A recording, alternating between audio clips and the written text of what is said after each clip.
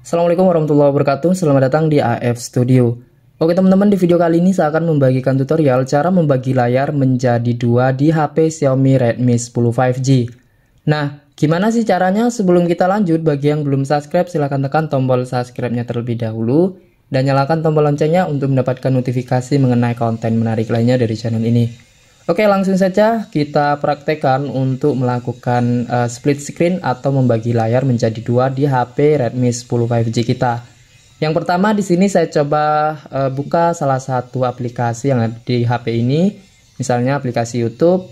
Jadi nanti kita bisa uh, membuka YouTube sambil membuka aplikasi yang lainnya. Selanjutnya di sini saya akan membuka Google Chrome. Nah untuk melakukan split screen teman-teman ketuk uh, tombol resen di pojok kiri bawah atau di bagian sini, maka akan tampil aplikasi-aplikasi yang sebelumnya kita buka dan uh, belum kita tutup. Jadi karena tadi saya membuka YouTube dan Google Chrome, maka di sini ada YouTube dan Google Chrome. Selanjutnya, teman-teman silakan ketuk dan tahan untuk yang YouTube.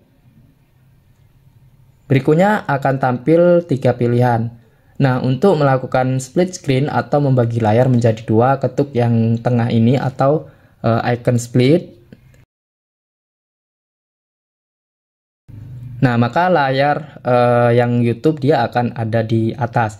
Jadi di sini ada YouTube ya, teman-teman. Selanjutnya kita bisa langsung membuka aplikasi yang lainnya, misalnya seperti Google Chrome. Maka secara otomatis di sini ada uh, dua aplikasi yang terbuka. Jadi layarnya dibagi menjadi dua. Yang pertama untuk yang atas ini adalah uh, aplikasi YouTube, kemudian yang kedua ini adalah aplikasi Google Chrome. Jadi teman-teman mungkin uh, mau mendengarkan musik sambil membaca artikel bisa melakukannya dengan cara ini. Oke, kalau misalnya untuk layarnya kita aktifkan rotasinya, maka secara otomatis uh, dua layar ini juga akan ikut berputar atau landscape seperti ini teman-teman. Jadi kira-kira seperti itulah cara untuk membagi layar menjadi dua di HP Xiaomi Redmi 10 5G.